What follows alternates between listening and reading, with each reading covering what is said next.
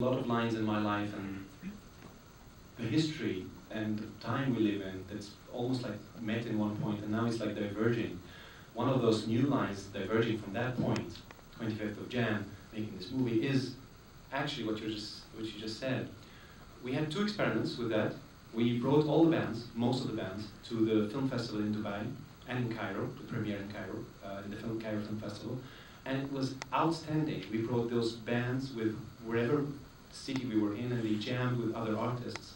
Now that they met them or saw them in the film, right after the film, we had a concert, like a mini concert with uh, other bands or other musicians uh, coming to meet those underground music bands and artists and jamming with them.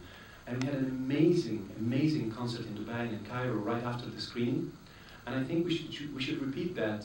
And I think I, I, I sent an email to the festival when they first chose the film to be in the festival, thankfully, thank you so much for having the film here. Uh, to tell them, well, how about a concert after the film? But usually people don't understand that until they see the film and the audience asks that question. So it's usually very pretty late, um, but I'm still trying to do that. Um, but you're totally right. The best thing to do that is communicate through the website, and we have actually, actually a blog. Uh, the blog is very interesting because it, has the revolution and stuff going on. So, uh, so the best thing is to communicate together is through the blog. Uh, just let's ha let's have uh, that happen. Maybe in a film, in a, in a music festival or something, in a jazz festival or something.